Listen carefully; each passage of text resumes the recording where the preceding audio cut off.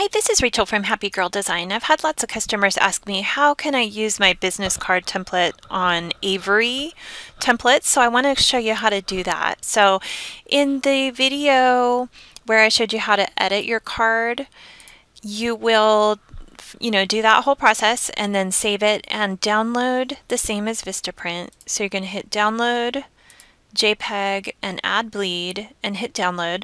And in that video, we saved it to our desktop.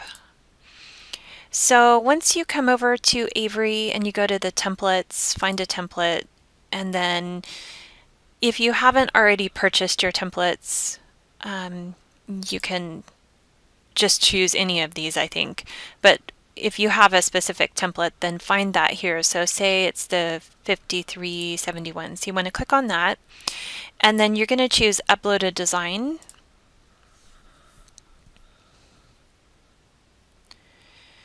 And then it's having us select the template again. And our card is horizontal so we click that. So when you say select file we saved our card to our desktop. So we're going to go ahead and click it and say open.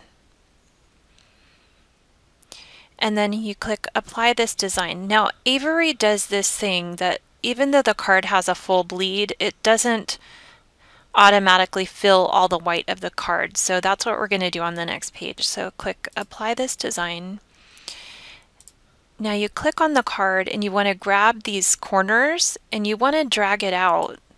And so the card fills the entire white space that you're seeing. Now, because over here we clicked JPEG full bleed, full bleed means we added a little bit of extra picture around the edges of the card so you have that extra here to do this with. So if for some reason it's cutting off parts of your card, that means you did not download it as a JPEG with the add bleed on. So go back and do that and then start over on Avery. So what we're seeing here is this safety line is a little tiny dotted line. So you just want to make sure your card is within that line there. So here we have it. Now we want to click preview and print and that will go ahead and put them stacked one on top of each other and see how there's no white space. That's what you want to see. So if you're on this page and you're seeing any white space at all, go back and make sure that you have dragged out the corners so your card fills the entire thing. Then you want to say print yourself and go ahead and print that or save that to your computer. And then you want to go back and do this whole process again for the back of the card.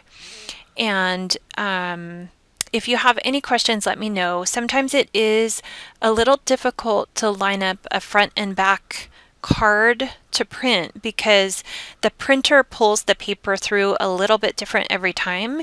So I kind of recommend customers go to Vistaprint or somewhere that professionally prints the cards. Um, but you can do Avery. It's just a little bit tricky. So, but if you have any questions, let me know and I'm super happy to help.